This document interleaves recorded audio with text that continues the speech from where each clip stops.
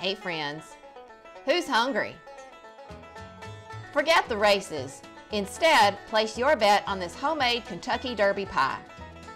In a large mixing bowl, combine four large eggs, half a cup of cooled melted butter, one cup of light corn syrup, three tablespoons of bourbon, one cup of light brown sugar, and one teaspoon of vanilla.